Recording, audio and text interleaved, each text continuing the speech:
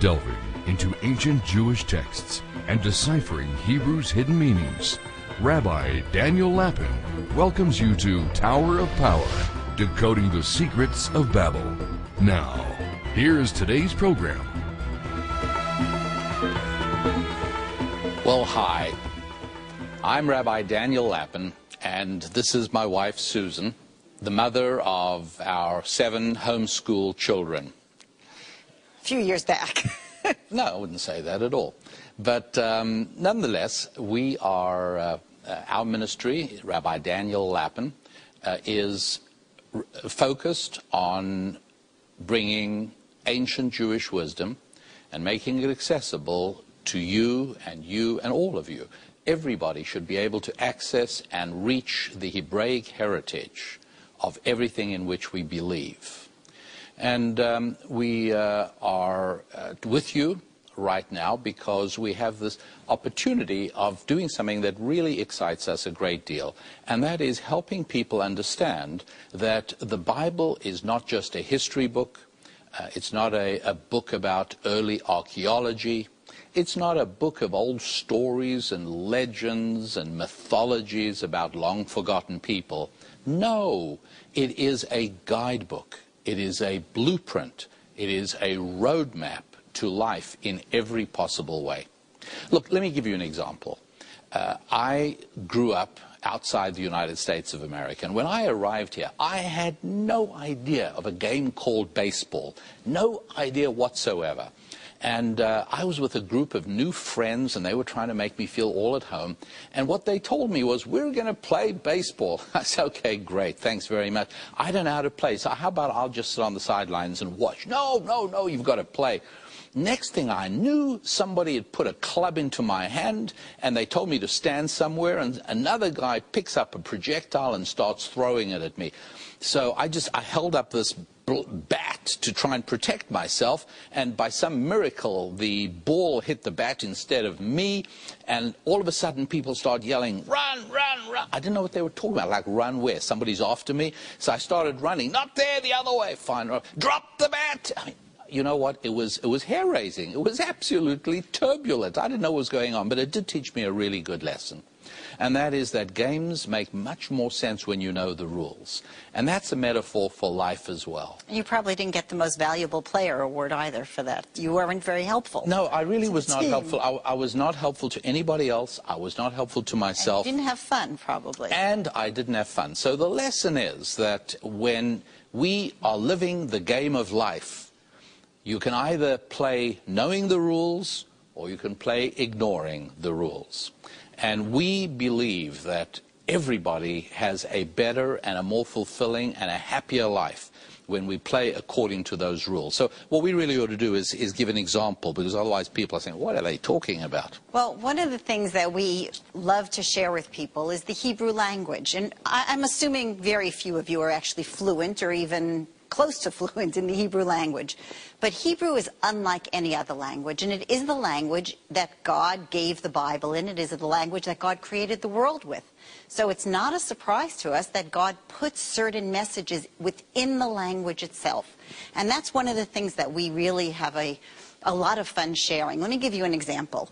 Have you ever wondered where the alphabet came from? We've got, right, you have A, B, C. We teach kids. They sing a nice little song. Well, that comes from the Greek, alpha, beta, gamma. Where did the Greek come from? Well, it came from the Hebrew. And you could even hear the similarity of the first four letters, Aleph, Bet, Gimel, Dalet, Alpha, Beta, Gamma, Delta. That's how it goes. But why? Why is there that order? Why don't we have vowels first and then consonants? Why do we have the, the order we do have? Well, wouldn't it be great if in English you could understand the meaning of words from the order of the letters? For example, a, we have AB and later on we have MN. Wouldn't it be great if AM, am, was mother, and maybe BN would be child? Bn. Well, that's not what it is. We have mommy and child or mommy and son. We don't have am and bun. But you know what? We do have it in Hebrew. Right, and that's the magic of Hebrew. So you have the first, the letter, the first letter of the alphabet, and one in the middle that's spell aim, which is a mother, and then you have, if you go just to the very next letter after each one, after the ah comes the b sound. After the m comes the n sound. You know what the like best example of this is? There was there was this movie. It's years ago already, but it was. Um, uh, the 2001 Space Odyssey and the evil computer in this movie. Everybody who saw the movie, you just ask anybody, everybody remembers. Hal. Right. The name of the evil computer that was trying to take over the world was Hal. any Hals out there. But HAL was the evil computer. And pretty soon people realized that there had been an advertising deal with IBM. Because if you take the letters that make up HAL, H-A-L, and you shift up the alphabet just one, H gives you I, H-I. A, B, L, M. Guess what? This is is a hidden, IBM. hidden advertisement for the dominant computer company of back in those days, which was IBM. So in the same way in Hebrew, um, the Hebrew word for mother is two letters, which if you just shift them up the alphabet once, you get the Hebrew word for child. And that's telling you God giving us a very important message because the word for father does not lead to the doesn't lead it child. to child, but it does suggest that what a mother is is somebody who's followed by a child. And that it's a natural relationship for a mother to feel a relationship for a child, for the child to feel a relationship to a mother. That's a natural thing. The unnatural relationship is a child and a father. And that's why it is that tragically, in so many different parts of the United States of America, in so many parts of Canada and South America and Asia, in so many parts of the world, tragically, the, the phenomenon of women who are raising children by themselves. Now, it would be so hard, right, for a woman to think of abandoning her child. It almost doesn't happen. It almost never happens. But unfortunately, men who never receive uh, an injection of godly vision find it easy to impregnate a woman, leave her with a child, and take off because that link between them and the child and between the child and Needs them to be built. Needs to be there. built. It's not there and that automatically. comes out of the Hebrew language. That's the type of information that we enjoy sharing. But we specifically, we were invited here to speak about a very specific teaching we did called Tower of Power, Decoding the Secrets of Babel.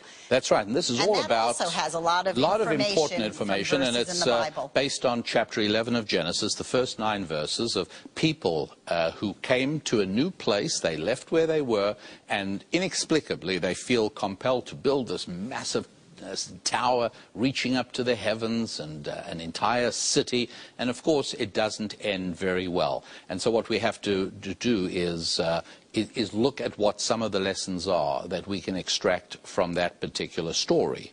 Now, one of the things I think we want to clarify here is that um, there really seem to be two main ways for human societies to be structured. Two ways that will work. Two ways that'll or work. less. That's right, exactly. I mean, and uh, anarchy is a way, but it's not a structure, and it doesn't yeah, work. It's uh, very chaos, pleasant. Chaos doesn't work, and you know, even in a family, chaos doesn't work. Chaos works absolutely nowhere.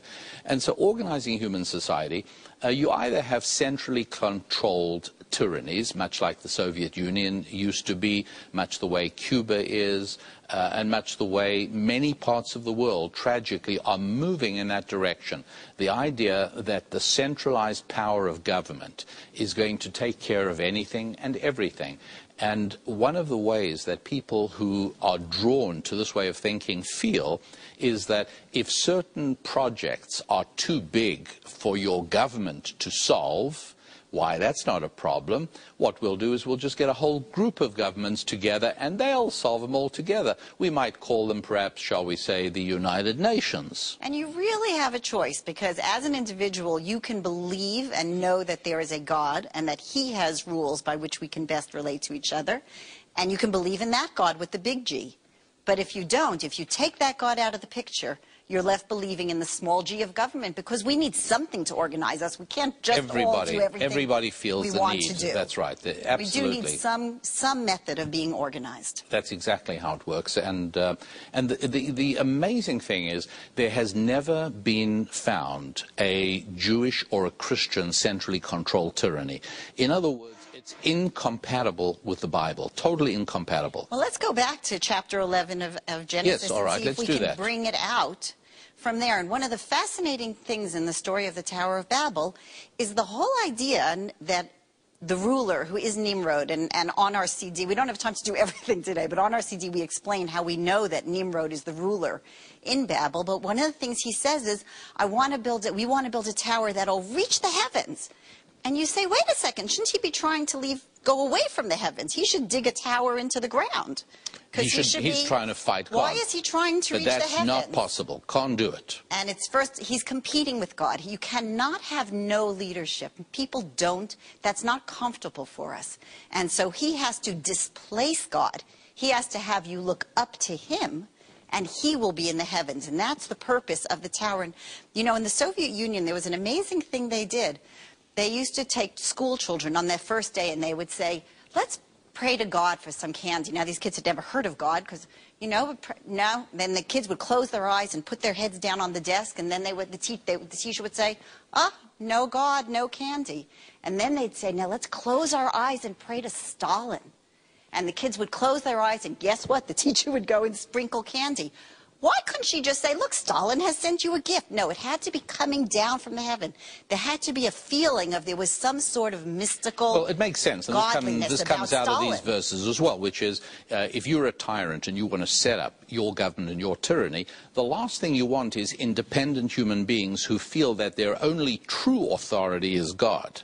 You want people who will look to you towards power. They have to leave God in Now- order to believe in you. Now, why is it so important for everybody to understand these nine verses in chapter 11? I mean, why, why is it that important for people to recognize that in these nine verses of chapter 11 you will find the blueprint of how tyranny arises in a nation? Who cares? Because the Tower of Babel did not happen once. That is the prototype. And if you follow history, you can see it occurring in France after the revolution. You can see it in communist China. You can see it in ancient Greece.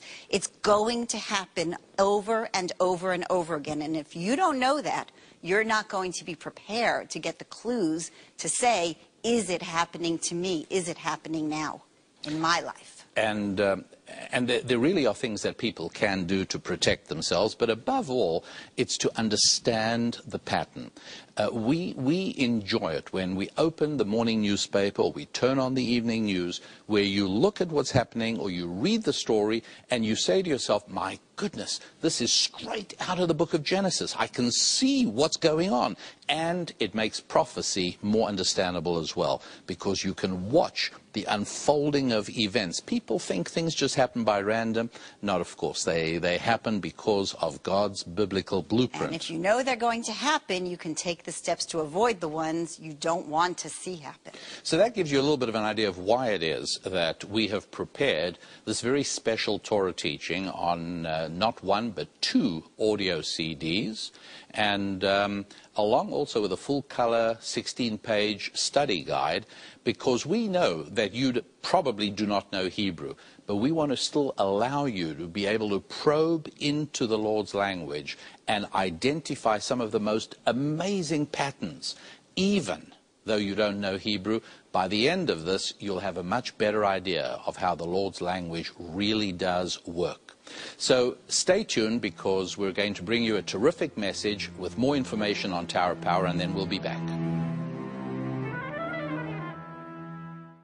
If you've enjoyed the rich wisdom of Rabbi Daniel Lapin, then we invite you to delve deeper into the mysteries of Genesis with Tower of Power, decoding the secrets of Babel. This Torah teaching best yields its secrets when conveyed by the voice from the rabbi's lips to his students' ears. This audio series includes The Curse of the Skyscraper, Baseball with Cain and Abel, and Pharaoh and the European Economic Community. This handsomely packaged volume includes a Hebrew language study guide too. To order, call 866-338-5033. And for your donation of $50 or more to TCT, you too can still enjoy Rabbi Lapin's easy blend of wisdom and humor while gaining powerful tools for defending your family, faith, and finances. Reserve your audio volume of Tower of Power today.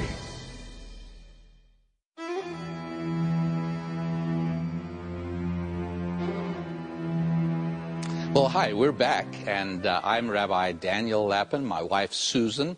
Uh, our ministry is the American Alliance of Jews and Christians, uh, trying hard to build the bridges on the solid foundation of Scripture, on the solid foundation of the Bible, which was such an essential part of the building up of the United States of America, where virtually every colonial pastor, every, virtually every colonial church had people who understood Hebrew, the Lord's language. And the uh, Torah teaching that we're bringing you right now has to do with chapter 11 of Genesis, the first nine verses, the extraordinary story of the Tower of Power, the Tower of Babel the mechanism by means of which the evil Nimrod was able to seize control over the entire population of the period, to literally become a tyrant who wished to control every aspect of his people's lives. And I want to look at uh, the very beginning, just verses 1 and 2. And uh, if you had a chance to glance at them, you would know that it would speak about the fact that uh, all the people came from the east. And it's, it's really puzzling We because... go, should people go get a map? Um, well, it certainly wouldn't, wouldn't hurt to have a map, but, or at least to have an idea that when you're looking at most maps and north is on the top, then usually west is on your left and east is on your right. And what's important about that is that uh, as we're told that the story of the Tower of Babel begins and it says they came from the east, the real question is who cares? I mean, did it matter where they came from? If they came from the south, did that matter? Well, of course it didn't matter. But one of the things that you have to learn from the outset when you really are trying to absorb ancient Jewish wisdom is that in the Hebrew of the five books of Moses, directions are not just directions. They always have moral implications. So, for instance, at the end of the book of Jonah, you'll read about the people of the city of Nineveh who didn't know their right hands from their left hands. That's not just they couldn't, you know, they never knew which hand to put the watch on. No, not at all. Right and left were always metaphors for good and evil. That's what it stood for. East takes us back to the original connection with God. That's what East always means throughout the Torah. And that's why it is that when uh, Lot and Abraham parted from one another, uh, Lot left Abraham to travel toward the east, towards the city of Sodom and the valley of the Jordan. And in the, the verse in chapter 13 of Genesis tells us that Lot journeyed from the east. When anybody who looks at a map knows he was traveling toward the east. This is such a powerful observation that unfortunately many English translations mistranslated. They so actually lie. They actually change it. They make it read, and Lot traveled to the east. It doesn't Not say what that. the Hebrew says. In the Hebrew text, it's very clear Lot traveled from the east and towards the city. But he wasn't traveling from the east. Geographically, he was traveling to the east. That's because east always means original connection with God. Abraham was his mentor. Abraham was his teacher. The minute Lot decided to move to Sodom, it didn't make any difference which direction he was traveling in. He was traveling away from the east. That's all there is to it. back to our generation of Babel, when we say, when it's, the sentence starts and says they traveled from the east, you should be hearing warning bells ringing in your head. They're going from the east, they are moving away from a connection with God. Yeah, bad news. New beginning. That's right, really bad news. going to be a Anytime you read, and they journeyed from the east, that means bad things are about to happen. And by the way, uh, back in the beginning of the story of Garden of Eden, at the end, when Adam and Eve are, uh, are evicted from the Garden of Eden, uh, God placed um, guardians to keep the way open to the Garden of Eden on the east of the Garden of Eden. In other words, identifying this idea that back to Eden, back to this original connection with God, is always eastward. Well, chapter 11 Genesis, Tower of Babel story, everybody journeyed away from the east. Dum, dum, dum. Now we know, we know not good things are about to be happening right now. That's one very important thing. And so we're not surprised by what happens. We're not surprised that a few verses later, God himself looks down and says, uh-uh, this isn't going to fly. And um, the second thing that is, is also very important to notice at the beginning is it says the people were of Devarim Achadim. Now, that's the Hebrew word, the Hebrew phrase for the people were of few words or few things. That Hebrew word devarim is either words or things. Now, I don't know about your English translation. Does it say words or things? I have no idea. But I will tell you what the original Hebrew says. The people had few possessions. They had few objects. They had few things. Do you know why that is? You probably do. Remember, this is now the pattern of the emergence of socialism. Socialism is a reality in the world from the very beginnings, all the way back to chapter 11. The human yearning for socialism, this human yearning for fairness and equality and, and safety, security, security and safety, right, will always tug people who may be decent, well-intentioned, good people, but it'll always tug them towards socialism. Which invariably tugs them away from God. Away from God because there's no such thing as a socialist government that is religious. It's on the contrary. Socialist governments are always anti-religious. As a matter of fact, if you ever notice a government developing a war with the faiths of the Bible, you must know it's heading towards socialism. That is its ultimate goal. Because anybody knows, any good Nimrodian knows that in order to develop a central controlled tyranny, you've got to first of all extirpate God from the population. Well, if you are successful and you build a socialist uh, society, guess what the people possess? Very few things. Get it? Even more so if we, because that's the first verse of chapter 11. And if you go, so let's go back to chapter 10. In chapter 10, it's talking about the spreading out of Noah's grandchildren. And they each go into groups. They have a tribal society. And tribal societies are better than living by yourself. Having a family is better than being alone. Having a group of your families is better than having just one family. And that's what a tribe is. It's not really successful. There are societies today, as you say, in Africa, in the Middle East, that are built on tribal a tribal nature. Let's be honest. I mean, no tribal society has ever figured out how to manufacture a bicycle. Not even cornflakes. Not even cornflakes. I mean, Novocaine was not, I mean, Novocaine, right? Good thing to have if you have to have tooth work. That wasn't invented and by any tribal society. And what happens in a tribal society? Everything belongs to the tribe. So the individual they're people of few things, and that leads people, more, leaves people wanting more. And when people are dissatisfied, that is also socialism, and a leader and a tyrant can step in and promise things. Basically, folks, the thing to do is to get used to the idea that the Bible, and you probably know this already, the Bible is like the manufacturer's instruction manual. You know when you get a new car and you open the glove box and you find that nice booklet in there and all shiny. If you're lucky, it comes in a little leather binder with a zip.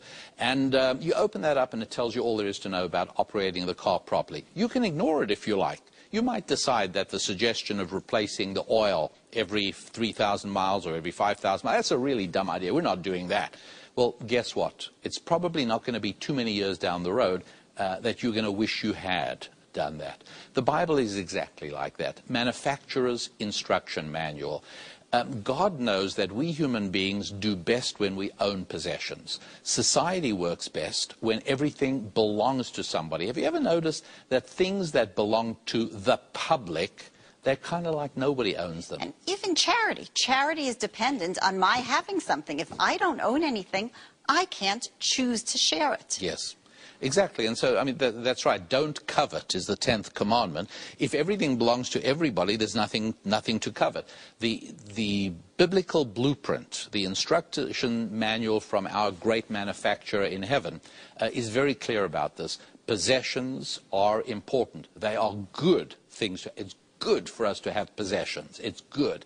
And so when a society begins to develop along the idea of taking away your ability to acquire possessions and promises in return that it will take care of you. It will take care of your medicine and it'll take care of your doctor. It'll take care of your retirement and it'll educate housing, your children. It'll your oh, it'll, it'll give you your housing. Whatever you need. All you've got to do is give us all your money. We'll take care of you. Of like the dairy farmer who says to the cow, you give me all your milk and I'll give you the hay and the pasture. And indeed, if we are nothing but animals, if we were not touched by the finger of God, we're just like animals, then yes, we do need a zookeeper uh, or a, uh, a farmer who will look after us. And here's the funny thing. Have you noticed the farmer always lives in a nicer house than the cows do? That's right. He's not right? in the barn with yeah. the cows. Have you noticed that uh, when socialist governments offer you things like uh, medicine and schooling for your children, their own children always go to better schools. And they very often don't subject themselves to the same laws. They pass laws for you and for me, But if you're in the ruling class, you actually don't have to follow those laws. That's exactly how it is. And all of this laid out as clearly as you could wish in the magical nine verses of first nine verses of chapter 11 of Genesis, and that which we lay out in a way that we obviously cannot do in the short time we have together here right now, but we lay that out over the course of several hours of material that you can take with you to the gym if you work out, because we believe that we all have to look after the bodies that God allowed us to use. Um, you, can, you can have it with you in the car while you're driving, and that's all fine. All of these things are, uh, are ways to, um, to, to use fully the time opportunities that we have, because we really want you to be able to absorb the fullness of the message of the Tower of Power. And all of that is available. But what we want you to do is stay tuned because we're going to be telling you exactly how you can get your own copy of Rabbi Daniel Lapin's Tower of Power, Decoding the Secrets of Babel.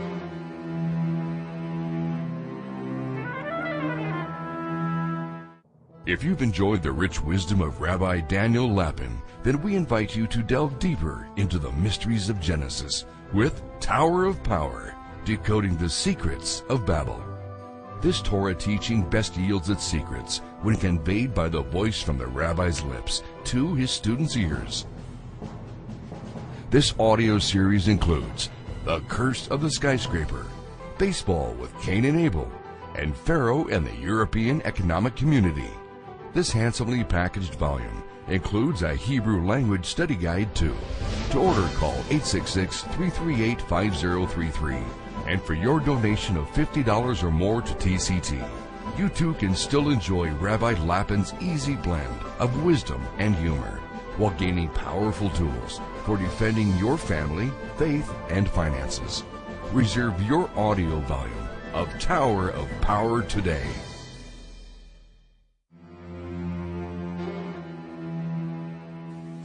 Well, we would really like you to be blessed with the Tower of Power, decoding the secrets of Babel, so that you too can gain some of the thrill and the excitement of probing beneath the surface to see some of the embedded secrets that lie treasured within the Lord's language, within Hebrew.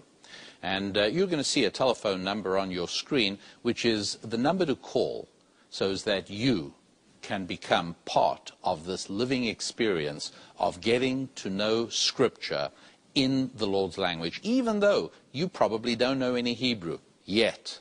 But stay with us because you will discover things you never suspected could be found deep within ancient Jewish wisdom and as revealed right here in the Tower of Power decoding the secrets of Babel. This has been a TCT Network exclusive production. If you would like to see more exclusive special programs, send your support to TCT, PO Box 1010, Marion, Illinois 62959.